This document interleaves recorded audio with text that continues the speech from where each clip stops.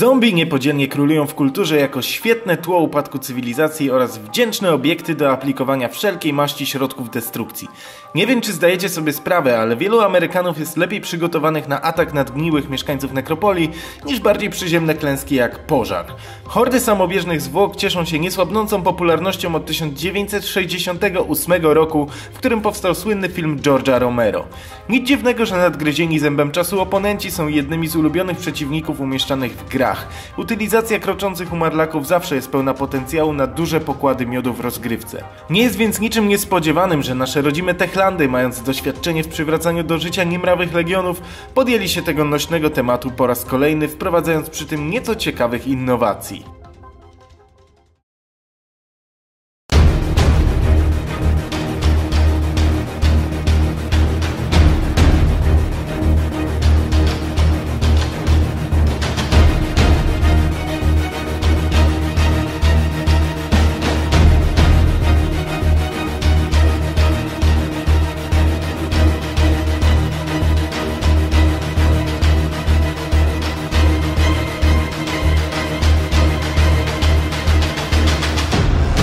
Siemanko, z tej strony Maxior, a to jest recenzja gry Dying Light w wersji na konsolę Xbox One. Gra została wydana także na PlayStation 4 oraz PC. Jako agent organizacji humanitarnej GRE Kyle Crane zostajemy zrzuceni do ogarniętego zarazą Haranu. Zmutowany wirus wścieklizny zmienia bogu ducha winnych mieszkańców miasta w niezbyt przyjaźnie nastawione do istot żywych zombiaki. Naszym zadaniem jest przedostanie się do metropolii i odzyskanie pliku, w którym zawarte są informacje niezbędne do opracowania leku.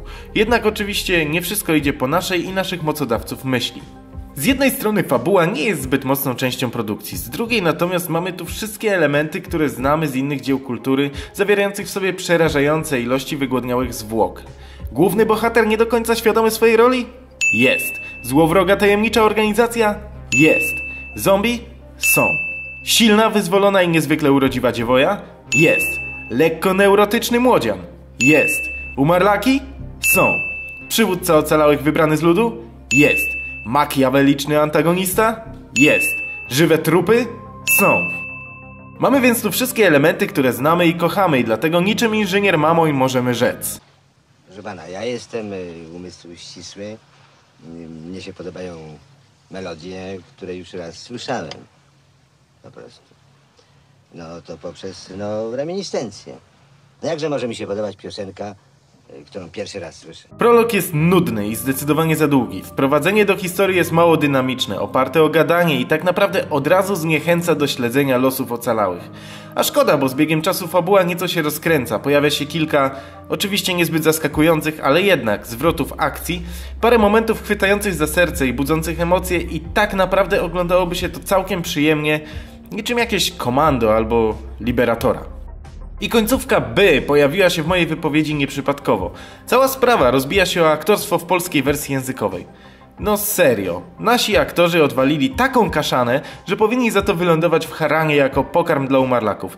Czytają swoje kwestie tak beznamiętnie, jakby odczytywali skład płynu do czyszczenia felg aluminiowych. Momentami miałem wrażenie, że nie gram w grę o zombiakach, tylko oglądam jakiś kretyński serial na Disney Channel. Serio? Sądzi pan, że potrafi to zrobić? Z pomocą doktora Camdena tak. Chyba tak. Powiecie zapewne, przecież mogłeś sobie zmienić wersję językową i grać po angielsku. Zaiste tak było, moi niezwykle roztropni przyjaciele. Jednak pragnę zauważyć, że grałem na konsoli, gdzie aby zmienić wersję językową musiałbym przestawić język systemu. Wziąwszy pod uwagę moje skrajne lenistwo i wewnętrzne bo nie, musiałem zagryźć zęby, wsadzić w uszy watę tamującą krwawienie i ukończyć grę słuchając popisowych ról elity polskiego aktorstwa. Jakby tego było mało, skonfrontowałem polski dubbing z wersją angielską, posługując się gameplayami udostępnionymi na YouTube. I o dziwo, angielska wersja jest zagrana bardzo dobrze. Ale w sumie czemu się dziwić, jeśli aktor grający główną rolę w angielskim dubbingu to facet, który podkłada głos chociażby pod Batmana w Batman Arkham czy Ezio w Assassin's Creed. Czy panowie z Techlandu nie mogli chociaż udostępnić kinowego spolszczenia? Przecież polskie napisy w grze są! No serio? To, co mnie zaskoczyło i uważam, że należy o tym wspomnieć, to przełamanie tabu, jakiego podjął się Techland. Dosyć sprawnie wprowadzono pomijany dotąd temat dzieci zombie. Konfrontacja z tymi osobnikami jest mocno szokująca, jednak nie została wprowadzona zbyt nachalnie i jednocześnie nie mamy na ekranie latających dziecięcych głów. Uważam, że twórcy podjęli się bardzo trudnego i delikatnego tematu i potrafili go poprowadzić w odpowiedni sposób tak, aby nie zgorszyć tej mniej skrzywionej części społeczeństwa. Oprawa graficzna, jaką zapewnia nam autorski Chrome Engine 6 jest naprawdę prześliczna. Silnik wysmaża nam dokładne modele postaci i naprawdę zjawiskowe krajobrazy. Rzeczywiście w kwestii graficznej widać next-genowość. Chociaż jest też kilka zgrzytów, które nieco psują dobre wrażenie. Przede wszystkim mimika. W cutscenkach wszystko wygląda super, jednak kiedy rozmawiamy z NPC-ami, aktorstwo wirtualnych postaci zaczyna się pokrywać z poziomem wirtuozerii polskich speców od dubbingu.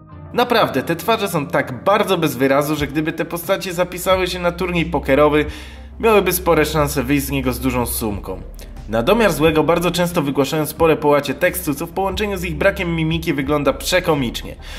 Poza tym modele zombie są naprawdę dobrze zrobione, szczegółowe, dobrze animowane i bardzo szybko zaczynają się powtarzać. Niby to nic, bo przecież kroimy ich w grze tysiące, ale tak naprawdę w jednym niezbyt dużym tłumie potrafi się pojawić po trzy egzemplarze tego samego umarlaka. No powiedzmy, że się czepiam jakieś głupoty, bo to przecież zombiaki i nie przeszkadza, że się powtarzają. Niby prawda, jednak w takim Shadow of Mordor ciężko było mi znaleźć sklonowane orki. Gra za to błyszczy w kwestii muzycznej. Oprawa audio jest idealnie dopasowana do klimatu miasta umieszczonego gdzieś na Bliskim Wschodzie. Mamy więc sporo motywów arabskich, przeplatanych w bardziej dynamicznych momentach elektroniką. Szczególnie spodobał mi się jeden motyw, który przywiódł mi na myśl dzieła Brada Fidela z Terminatora 2. Powinienem też wspomnieć o optymalizacji. Doszły mnie słuchy, że gra mocno nie wydala, ma jakieś niedorzeczne spadki płynności i momentami staje się niegrywalna w wersji PC-towej. Ku mojemu zaskoczeniu i uradowaniu, na konsoli gra trzyma twardo 30 klatek i nie zaliczyła w ciągu 20 godzin gry ani jednego spadku płynności. I nie wiem teraz, czy mam twórców chwalić, czy ganić. A jak gra wygląda w kwestii rozgrywki? Pierwszym skojarzeniem jest zapewne inne dzieło Techlandu, czyli Dead Island. Wbrew pozorom Dying Light nie ma zbyt wiele wspólnego z Martwą Wyspą. Przede wszystkim rozgrywka nie jest tu oparta na wesołym szlachtowaniu hord nieumarłych przekombinowanymi narzędziami, jak właśnie w Dead Island. Dying Light jest zdecydowanie zbudowane pod kątem unikania konfrontacji. Wszystko przez wprowadzenie mechaniki parkouru. Śmiganie po dachach Haranu przypomina mocno uproszczony system z Mirror's Edge. Różnice są przede wszystkim w kwestiach fizycznych. Nie wytracamy prędkości przy skręcaniu i praktycznie momentalnie się rozpędzamy. Do tego samo chwytanie się krawędzi jest momentami nieprecyzyjne. Mimo wszystko, kiedy już opanujemy podstawy tego systemu i dojdziemy do pewnej wprawy, przemieszczanie się po mieście staje się niesamowicie miodne. Tym bardziej w drugiej części gry, gdzie trafiamy na stare miasto pełne wysokich zabudowań umożliwiających nam rozwinięcie skrzydeł. Dodatkowego dynamizmu dodaje zdobywana na późniejszych etapach kotwiczka. Bezpośrednia konfrontacja z umarlakami nie należy do zbytnio wymagających do momentu, kiedy ich ilość nie jest przesadnie duża. Spora liczba adwersarzy wymaga od nas małpiego refleksu i tak naprawdę posiadania oczu wokół głowy, aby nie skończyć jako wysokobiałkowy pokarm dla nieświeżych przeciwników. Sama walka zrealizowana jest bardzo dobrze. Wreszcie czuć ciężar broni i czujemy, że podlega ona prawom fizyki, czego w Dead Island brakowało. Uderzenie zombiaka w każdą część ciała i z każdej strony wywołuje odpowiednią reakcję. Do tego mamy możliwość obcinania kończyn i dekapitacji, a także połamania tkanki kostnej adwersarzy, co unaocznione nam jest za pomocą efektu X-Ray rodem z ostatniego Mortal Kombat. Poza tym należy wziąć pod uwagę, że mamy całkiem sporo rodzajów przeciwników. Podstawowe gryzonie stanowią zagrożenie praktycznie jedynie w większej grupie. Oprócz nich spotkamy na swej drodze wybuchające purchawy, umarlaki plujące trucizną, przerośnięte mutanty, szybkie wirale oraz oczywiście żywych oponentów. Z każdym typem przeciwnika walczy się inaczej, co jest bardzo fajnym rozwiązaniem. Dla przykładu takie wirale potrafią całkiem sprawnie unikać naszych ciosów i wspinać się na budynki, co zupełnie zmienia dynamikę starcia. Mimo wszystko realizacja walk nie jest doskonała. Pierwszą rzeczą, która mnie irytowała to chwyty zombiaków. Kiedy pozwolimy im się zbytnio zbliżyć, łapią nas i zaczynają gryźć. I to jest ok, jednak wydaje mi się, że ich zasięg jest trochę za duży i często czekamy z przygotowaną maczetą, by skrócić oponenta o kilka centymetrów, a ten niespodziewanie zaczyna obgryzać nam twarz.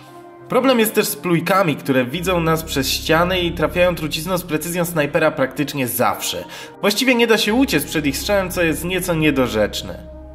Walka z ludźmi jest spoko. Zachowują się w miarę inteligentnie, robią uniki, stosują broń dystansową, jednak w trakcie starć w zamkniętych pomieszczeniach wychodzi na jaw, że skrypty AI nie są zbyt rozbudowane. W trakcie strzelaniny idiotycznie pakują się pod lufę karabinu, biegną do miejsca naszego ukrycia na hura, ładując się prosto na ostrze maczety, nie wiedzą, że przed granatami należy uciekać, no i na koniec walą do nas z karabinu z zegarmistrzowską precyzją. A propos strzelania, to jest ono takie strasznie drewniane i potraktowane po macoszemu. Ale jest to coś, co można wybaczyć, bo w końcu główny ciężar położono na broń białą. Poza tym mamy tę osławioną we wszystkich trailerach noc. No i faktycznie noc jest tu świetna. Ogólnie panująca ciemność znacząco ogranicza nasze pole widzenia i tak naprawdę nie do końca wiemy, czy miejsce, w które zeskakujemy nie jest pełne zgniłków. Do tego nocą na mapie pojawiają się łowcy, czyli wyjątkowo mocna i zwinna odmiana truposzy, z którymi konfrontacja prawie na pewno zakończy się naszym zgonem. Na szczęście nasz zmysł przetrwania pozwala nam lokalizować oponentów przebywających w pobliżu, co nieco zwiększa nasze szanse na przeżycie. Gra nocą zamienia się w skradankę, ale jeśli damy się zauważyć, doświadczymy pościgu, którego nie powstydziłoby się GTA. Naszą jedyną bronią po zmroku jest szybko rozładowująca się latarka UV, która tylko nieco osłabia łowców, jednak daje nam to cenne sekundy na wskoczenie do bezpiecznej strefy lub załączenie pułapki świetlnej. Noc wymaga od nas ciągłego kombinowania oraz dużego skupienia i potrafi być naprawdę stresująca i satysfakcjonująca zarazem. Ale po co się męczyć, skoro można sobie spokojnie kosić zombiaków w świetle dnia, a po dobranocce położyć się grzecznie do łóżeczka? Odpowiedź jest prosta. Podwójny exp. Jeśli zależy Wam na szybkim rozwoju postaci, warto zarwać parę nocek, jednak by zabawa była opłacalna, musicie być pewni swojego skilla i przede wszystkim częściej przeżywać noce niż podczas nich ginąć. Niestety i w ten naprawdę fajny element zakradły się babole. Przede wszystkim łowców dosyć łatwo zgubić, jeśli zastosuje się pewne dziury w mechanice, o których nie chcę wspominać, by nie psuć wam rozgrywki. Do tego całkiem łatwo zrobić sobie z nocnych eskapat sympatyczną farmę. Jak dla mnie dziwnie rozwiązano kwestię śmierci. Przede wszystkim gra nie cofa nas do ostatniego zapisanego checkpointa, ale klasycznie respawnuje nas w najbliższej bezpiecznej strefie lub w punkcie kontrolnym misji. Niby ułatwia to rozgrywkę, gdyż wszyscy przeciwnicy zabici przez nas pozostają martwi i ogólnie powracamy do świata takiego, jaki zostawiliśmy tuż przed naszym zgonem. Tracimy jedynie punkty przetrwania, co spowalnia rozwój naszej postaci. I teoretycznie zmniejsza to frustrację wynikającą z powtarzania tych samych fragmentów, ale weźmy pod uwagę, że w misjach pościgowych oponenci często już dawno czekają na naszą odrodzoną postać na trasie naszej ucieczki, aby niczym Syzyfa nieskończenie długo posyłać nas na początek. Poza tym jest to rozwiązanie o tyle głupie, że każdego bossa możemy pokonywać na raty z praktycznie zerową karą, bo jeśli zginiemy odpowiednio dużą ilość razy, albo zdążymy podlewelować, pula punktowa, z której pobierana jest kara wynosi 0. No ale przynajmniej mamy pewność, że nie utkniemy na zbyt trudnym bossie. I dochodzimy do rozwoju postaci, który jest zrealizowany całkiem ciekawie. Każde z trzech drzewek umiejętności rozwijamy niezależnie. Zwinność i siłę podnosimy wzorem The Elder Scrolls, wykonując czynności związane z daną dziedziną. I tak walka z umarlakami podnosi naszą siłę, natomiast skakanie po dachach zwinność. Punkty przetrwania natomiast zdobywamy za wykonywanie zadań i przetrwanie nocy. Tak naprawdę rozwój postaci jest zrobiony bardzo oszczędnie, ale nie jest to wadą, gdyż przeglądanie tabelek z perkami i statystykami nie odciąga nas od rozgrywki. Nie należy zapominać o craftingu, który jest tu zrealizowany świetnie. Nie ma żadnych stołów warsztatowych, przy których tworzymy albo co gorsza kupujemy przedmioty.